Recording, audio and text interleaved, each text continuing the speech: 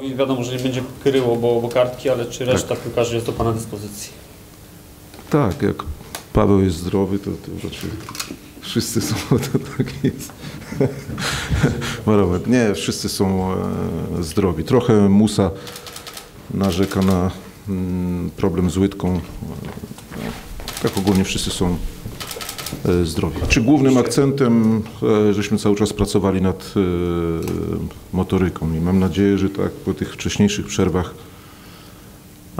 te mecze nasze dobrze wyglądały i podtrzymamy tą, tę pasę.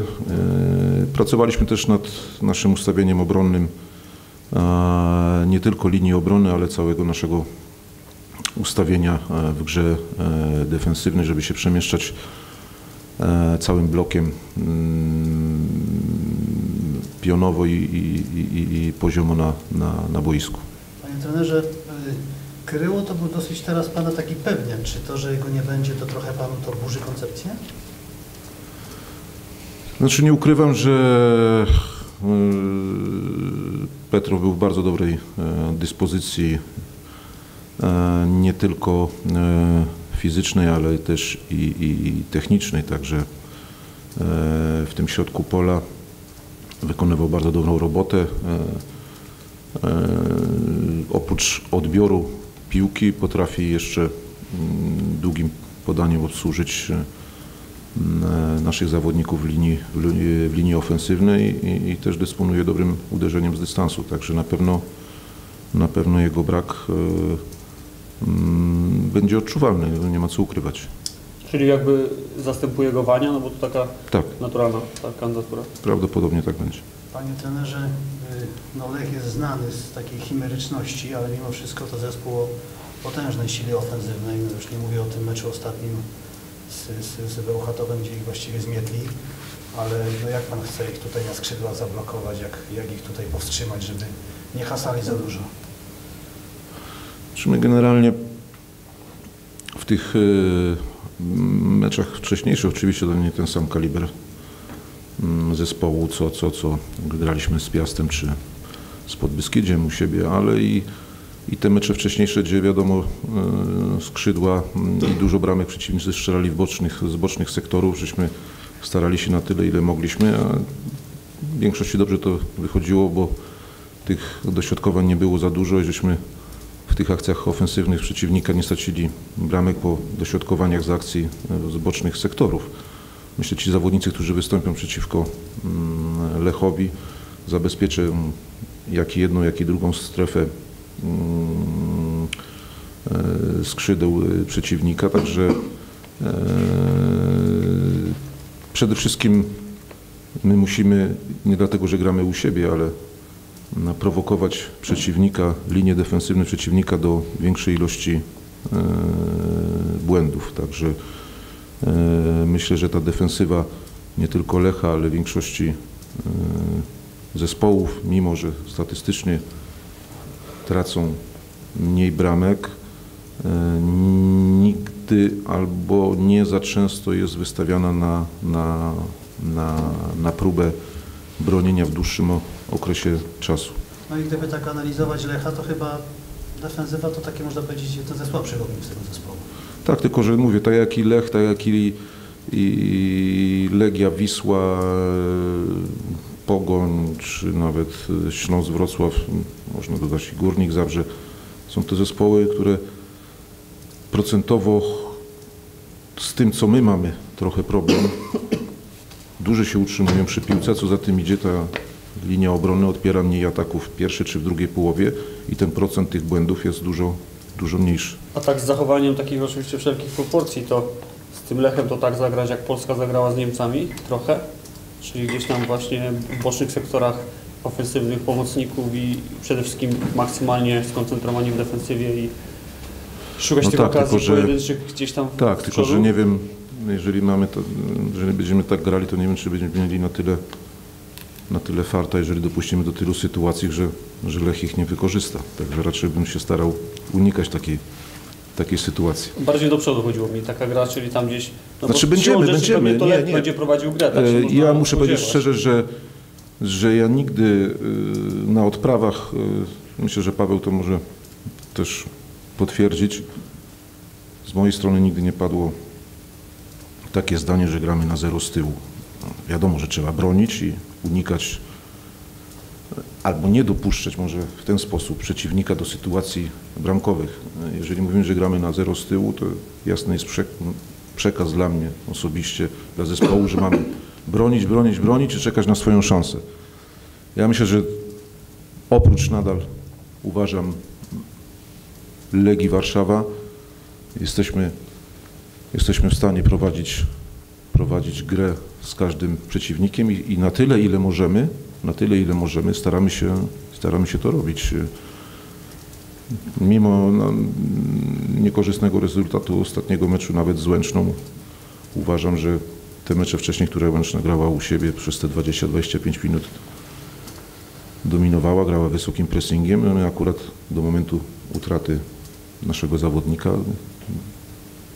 uważam, żeśmy się dobrze prezentowali chcemy tak grać i u siebie i, i, i- na wyjeździe, oczywiście z zachowaniem proporcji, bo wiemy, że nasza siła ofensywna, tak jak panowie powiedzieli, jest trochę, trochę słabsza niż, niż jeżeli chodzi o nie tylko o Lecha, ale o 3-4 zespoły. Zdajemy sobie z tego sprawę, ale poprzez naszą aktywność e, dobrą organizację gry, prowokowanie pojedynków jeden na jeden, jesteśmy, jesteśmy w stanie mm, prowokować Lecha Poznań do, do większej ilości błędów e, w sektorze defensywnym. Idąc tym tropem reprezentacyjnym, to tak yy, selekcjoner Adam Napałka zagrał na dwóch napastników. Yy, Tutaj nic się nie zmienia, gramy na jednego, tak? Wie pan, to nie dlatego, że my nie chcemy grać na dwóch napastników. Ja, ja mówię, no, w drugim sezonie, który prowadziłem w Śląsk Wrocław, żeśmy przeszli na system 4-4-2. Kwestia jest tego, czy my zagramy dwoma czy trzema, to nie, wcale nie, nie świadczy o tym, że ta nasza siła ofensywna będzie, będzie mocniejsza, jeżeli linia pomocy jest kreatywna i, i, i, i, i- stwarza sytuację i zagraża przeciwnikowi, także mm, można sobie na to, na to pozwolić. Dzisiaj na dzień dzisiejszy, na dzień dzisiejszy nie jesteśmy w stanie, nie mamy takiego możliwości, takiego potencjału, żeby tak jak większość przeciwników gra piątką w linii pomocy, żeby sobie, żeby sobie pozwolić e, mieć deficyt, e, powiedziałbym, zawodniczy o tak w środkowej, w środkowej strefie. A kto z przodu w takim wypadku, bo Hiżniczenki, no nie miał Pan ostatnio okazji e, oglądać, no bo był na zgrupowaniu kadry Tak. na meczach, to Znaczy myśmy oglądali, no, oglądałem akurat jak ja mecz z Holandią grał. no tak, no, Nie, uważam, że przy tym, co chcemy grać, czyli mówię, szybko przenosić ciężar gry z linii defensywnej do, do linii ofensywnej i atakować to, co się staramy robić. Nie zawsze nam to wychodzi. Grać jak najczęściej w boczne strefy i, i, i prowokować jeden na jeden, a, a mimo wszystko Tryto mm, lepiej gra w powietrzu yy, niż Kirze. A propos tych bocznych, bocznych sektorów, to no bo właśnie te, te skrzydła pewnie nie funkcjonowały tak, jak sobie Pan tego życzył. Będzie Pan jakoś tam y, zmieniono połówkę, zagrał... y, No spróbujemy, próbujemy. E, Jak mm, zauważyliście, no, no próbujemy różnych. No, takim najbardziej chyba em, zawodnikiem powiedziałbym, mm, który najdłużej i najczęściej gra na, na skrzydle to jest Jacek Kiełb i, i uważam, że, że, że w tej materii mm, robi postępy. Na pewno możemy od niego więcej wymagać, oczywiście. Problem mamy z obsadzeniem, mówię, tej, tej, tej drugiej, drugiej strony. Panie trenerze, jak byłem właśnie na meczu teraz z Niemcami, to zaobserwowałem taką sytuację, że przy tych wielu dośrodkowaniach Niemcy, nasi wszyscy zawodnicy ręce do tyłu. Pan porozmawiał ze swoimi chłopakami, żeby nie grali w piłkę ręczną tak jak w ręcznej? Tak, e, mówimy o drugiej bramce, prawda? Sytuacja, ja rozmawiałem z Musą na ten temat. W Słopach trochę, który tak i my generalnie, nie mówię, że nie można, nie wolno tego zwalać wszystko na, na, na brak szczęścia, ale to jest chłopak, który ma bardzo dużo odbiorów, dobrze asekuruje, tylko w większości, w większości spotkań dla niego jest zawsze pośrednio albo bezpośrednio jest zamieszany w utratę, w utratę bramki, ale wszystkie pojedynki jeden na jeden w powietrzu, czy mówię nawet asekuracja, gdzie niejednokrotnie zdążył przerwać akcję, tu akurat w tej sytuacji popełnił, popełnił, popełnił błąd, tak jak i przy pierwszej bramce, gdzie mieliśmy rozpisane i to najbardziej boli, bo, bo, bo, bo my tak na dobrą sprawę, jeżeli to co mówiłem, jeżeli mamy być e,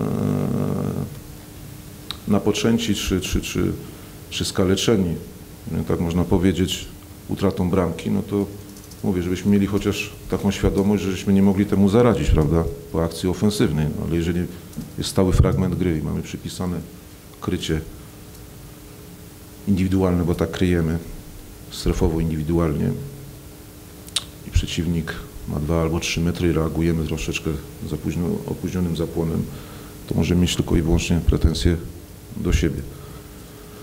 Także został zrobiony wyblok, na co musi być przygotowany każdy obrońca czy każdy zawodnik.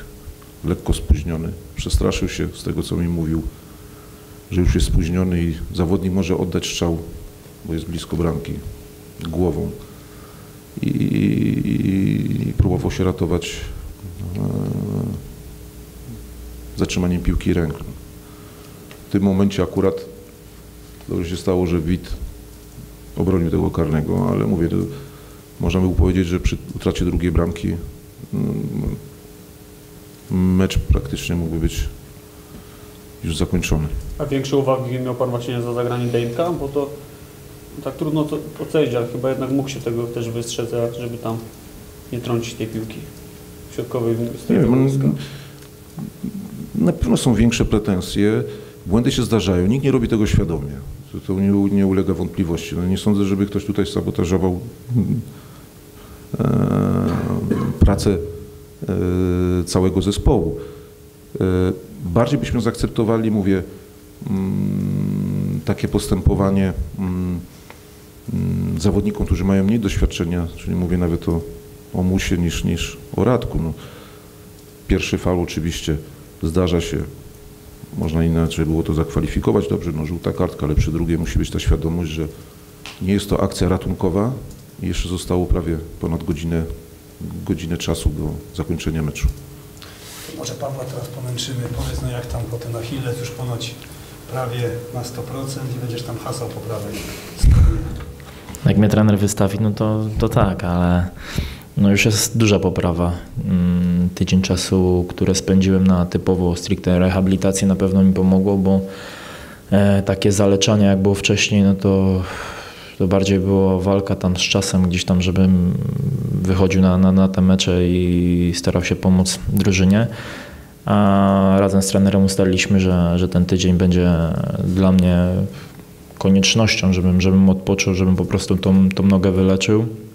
Oczywiście, żeby wyleczyć tak na, na maksa, to, to doktor przerwa musiałby być dłuższy, mm, konsultacje z nim, natomiast jest znaczna poprawa i, i tak naprawdę myślę, że jestem gotowy w 100% już bez żadnych tam tabletek, nie tabletek wychodzić na, na, na mecze. Paweł, no właśnie, bo Lech to taki zespół, który nas gdzieś tam skarcił, nie pamiętam już chyba za trenera Motyki, chyba tutaj ile było, pięć, tak? Pięć. No ale też żeśmy potrafili go pokonać ostatnio chyba w grudniu 2013 roku po dobrym meczu.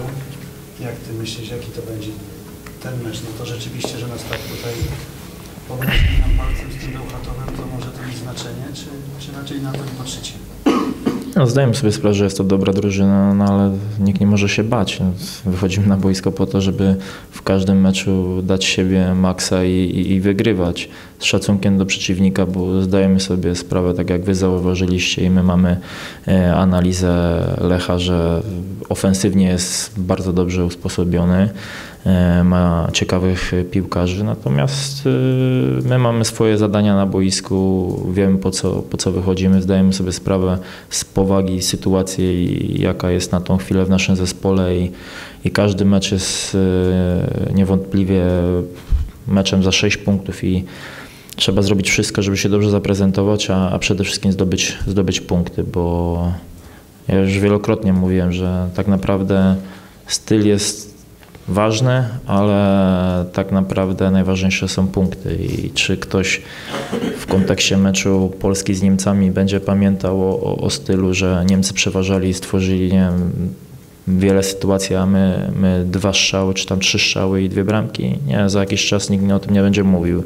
Świat idzie wyniki, dlatego my musimy podchodzić do tego w ten sam sposób. Jeżeli się oczywiście uda stworzyć mnóstwo sytuacji i wygrać e, w sposób e, bardzo widoczny, no to będziemy się z tego cieszyć, ale tak jak mówię, najważniejsze jest to, żeby drużyna grała e, skutecznie. A jakbyś Paweł mentalnie określił teraz jakby sytuację w drużynie? Jesteś kapitanem, jak to, jak to wygląda no, po tych seriach? Akurat u siebie dwa zwycięstwa z rzędu, ale, ale generalnie, generalnie tych porażek jest bardzo dużo, więc chłopaki są jakby żądni rehabilitacji za, za ten fatalny początek sezonu. Jak to wygląda? No Na pewno tak, każdy z nas ma złość sportową w sobie, no bo nie jest to przyjemne, jak się wychodzi na boisko, jest rywalizacja i, i przegrywamy, przegrywamy ostatni mecz na przykład z Węczną, gdzie ja miałem okazję oglądać to w telewizji na spokoju i no nic nie zapowiadało takiego obrotu, obrotu sprawy i myślę, że tutaj nawet rozmowy po, po tym meczu gdzieś tam w szatni sobie rozmawialiśmy, to każdy był e, no, zezłoszczony tą całą sytuacją. Natomiast to już jest historia i tak naprawdę jest duża mobilizacja przed tym meczem z Lechem. Tym bardziej, że przyjeżdża do nas bardzo dobra drużyna i tutaj trzeba być maksymalnie skoncentrowanym, żeby nie popełniać głupich błędów, co nam się wcześniej wielokrotnie zdarzało. Więc myślę, że tutaj pod kątem e, psychologicznym e, drużyna jest nastawiona do tego meczu bardzo dobrze. Wiadomo, że wszystko weryfikuje boisko i miejmy nadzieję, że po, po ostatnim gwizdku to my będziemy się cieszyć e, ze zwycięstwa. A strata Petrowa jest sporym osłabieniem przed takim meczem, gdzie tam głównie w środku pola pewnie trzeba będzie się powalczyć? No, tak jak trener powiedział, Kir naprawdę w ostatnich meczach wyglądał bardzo solidnie, dużo biegał, e, ten, ten środek zabezpieczał. E, Jest to naprawdę niezły zawodnik. E, Natomiast wskakuje, jak trener powiedział, Wania i tak naprawdę mm, piłkarz, który też wcześniej grał i gdzieś tam będzie, będzie chciał pokazać, że, że zasługuje na grę w podstawowym składzie i myślę, że tutaj da z siebie maksa i, i będzie, będzie godnie zastępował Kiryła. Paweł, e, roboty to ty będziesz miał pewnie dużo w- defensywie. Trener oczywiście pewnie liczy na to, że będziesz się podłączał do akcji, jak zwykle tam dużo dośrodkowań, ale tej pracy w defensywie z takimi skrzydłami Lecha będzie sporo. Kim byś chciał grać? Bo tak najlepiej się tam dogadujecie z takim Pawłem S. Czy to tak byś wolał, żeby to było, czy to jak trener wybierze, to już wiadomo. Wiadomo, że ja nie mogę wchodzić tutaj w słowo trenerowi, kto, kto ma grać ze mną na skrzydle. No, to jest po części prawda, że ja z Pawłem gram najdłużej, tak, y, w Koronie, odkąd, odkąd wróciłem i, i ta współpraca wygląda nieźle, rozumiemy się bez słów. Natomiast no, jeżeli trener podejmie decyzję, że będzie grał kto inny, no to nie ma najmniejszego, najmniejszego problemu. Najważniejsze jest dobro drużyny i, i tak naprawdę wszyscy, którzy są w szatni, e, nastawiają się i, i chcieliby bardzo grać w podstawowej 11, natomiast no, tylko 11 zawodników plus zmiany e, może grać w każdym meczu, a najważniejsze jest dobro drużyny i myślę, że tutaj wszyscy mamy podobny, podobny cel, żeby, żeby iść do przodu i zdobywać, zdobywać punkty.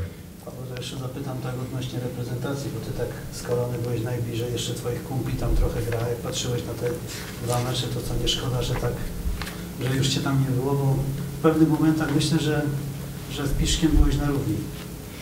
Na pewno, do, dopóki gram w piłkę, wybiegam e, na boiska ekstraklasy, to, to myślę o tej reprezentacji, trzymając za nich kciuki. Jeszcze nie jestem wypalonym zawodnikiem. Niedawno 32 urodziny, ale Sebastian Mila jest e, przykładem, gdzie, gdzie wrócił do reprezentacji. Wcześniej już można powiedzieć, był postawiony na nim sportowy krzyżyk gdzieś, że duża nadwaga, e, tkanka tłuszczowa, już mnóstwo spekulacji na, na temat sportowego tak, trybu życia Sebastiana. No i, no i tak naprawdę po, nie wiem, 3-4 miesiącach wrócił do reprezentacji i już pomijam bramkę z Niemcami, ale mecz ze Szkocją, zmiana, gdzie, gdzie, gdzie grał bardzo dobrze i, i myślę, że dopóki, dopóki mi zdrowie będzie pozwalało i będę grał, to, to ciągle gdzieś tam myśli o, o reprezentacji będą poprzez moją dobrą grę. Ja do trenera jeszcze w takim wypadku pytanie, bo jak Kolo wróci do defensywy, to z tego bloku musi ktoś wypaść. To kto wypada z chłopaków? Wiadomo co z Musą, tak? Tak, tak, tak. Jeszcze Leo się też dobrze prezentował. Trzeba też szukać e, przede wszystkim e, możliwości zdobycia, zdobycia bramki tych zawodników, którzy mówię, nie zdobywają znowu co sezon mnóstwo bramek, ale statystycznie patrząc, to jest to trzech czy czterech zawodników, którzy co sezon po kilka bramek strzelają. I takim zawodnikiem tak samo jest mówię, Sylwek, który dobrze się prezentuje w defensywie, ale też może nam pomóc i, i, i przy stałych e, fragmentach, czy nawet przy akcjach ofensywnych. Czyli co na razie jeszcze tak pan tej gotowej jedenastki nie ma przed tym meczem z Lechem? Czy? Znaczy nie, powiem, że no co mogę powiedzieć, że, że jednym pewniakiem jest, jest Paweł, no to a reszta zobaczymy. Nie? A tak nie, jest dwie, trzy niewiadome, o tak bym powiedział. Jest y, środek obrony, y, Lewa obrona. lewa, y, lewa obrona, może w mniejszym stopniu, środek obrony, jednak tak. le, lewa pomoc. y, No właśnie. Ale właśnie a propos tej lewej pomocy, to do kogo jest Panu jakby bliżej, bo... Nie wiem, mówię, mówię, taki jakby mówię zobaczymy, zobaczymy, trudno mi powiedzieć, że jest duża szansa, jest duża szansa, że, że, że duża szansa jest, że Kapo wystąpi od początku. No właśnie, bo zapomnieliśmy o kapu. A no właśnie, jest taki zawodnik. To uważa Pan wreszcie, że to, już, że to już jest ten moment, kiedy, kiedy on jest gotowy, żeby, żeby pobiegać poważnie od początku? No bo już tak się szykujemy na do niego degu do podstawowym składzie od meczu z Legią i tak, i tak nie możemy się doczekać. Pewnie Pan też. Nie no, z Legią to, to, to, to nie, no, to nie, nie było takiej możliwości. Sam Pan mówił. Ale, ale, ale faktem jest, że ten uraz na Legii go trochę, trochę go przyhamował, no bo ta ciągłość pracy. Nie, y, w dzisiejszym futbolu mówię, no trzeba być albo bardzo wybitnie uzdolnionym technicznie, a on nie jest wybitnie uzdolniony technicznie. Jest to dobry że zawodnik techniczny. Dzisiaj samą techniką, z całym szacunkiem, no, no, nic się nie zrobi na boisku. Ale chyba rozumiem pana trenera, bo akurat e, Lech to jest taki zespół, który nie gra brutalnie, a dosyć technicznie i tak dalej. Kapo może mieć swoje tam 5 minut, czyli może pograć to akurat co on lubi. Tam u nich nogi nie odrąbie na przykład, także Nie, ale on już lepiej naprawdę troszeczkę, bo oglądał te mecze i, i tutaj, i to, co był z nami i na wyjazdach, na rezerwie. Ja też z nim rozmawiałem. Powiedziałem mu, że, że na dzień dzisiejszy on nie jest gotów do gry od początku. I, I ten jeden okres przerwy, drugi okres przerwy od dłuższego czasu normalnie, normalnie trenuje i trenuje bardzo dobrze, bo trenował po dwa razy dziennie. I nie dlatego, że raz, że musieliśmy to zrobić, rzeczywiście nie chcieliśmy przeciągać struny, tak? Jest, każdy zawodnik jest monitorowany, ale widać mm, na zajęciach, że, że, że, że troszeczkę zaakceptował, powiedziałbym, znaczy nie to, że on nie chciał zaakceptować, yy, po prostu musiał się przyzwyczaić, że tak jak na zachodzie może yy, piłka nożna się zaczyna od 40 metra przed bramką e, przeciwnika, tak tutaj e, nieraz bramkarz nie może spokojnie wybić w polskiej lidze pi piłki z 16 metra. Ale to rozumiem, że Pan go widzi na, na szpicy, tak, jako jedynego tego wysuniętego napastnika, chociaż w tym meczu chyba z Podbeskidziem, w którym zagrał najlepiej do tej pory, to grał tak bardziej w- bliżej, bliżej środka pola, To, to, w tak, głębi. no. to tak mniej więcej może tak, może tak być. Ale Czyli tego, bardziej w głębi. Tak. Czyli na dwóch napastników. trener wam nie chce zdradzić... To, ale to nie jest, 11 to nie jest, bo on nie nie, potrafi, on nie potrafi grać. Yy, yy, zresztą my nie mamy, bo ani Kirza, ani Tryto. Może Tryto w trochę lepszym stopniu to robi. e, Nie mamy typowego napastnika takiego, który, który potrafi grać plecami do, do bramki. Tym bardziej, że szkoda by go tak było ustawiać kapo, bo, bo po prostu poprzez jego szybkie rozegranie, uruchomienie e, zawodników piłką prostopadłą, bo to potrafi, mimo nieraz mniejszej precyzji, ale, ale, ale o to nam chodzi. Czyli wnioskując z tego Michał Janota Na lewej. na ławce albo na lewej. Na lewej, na lewej.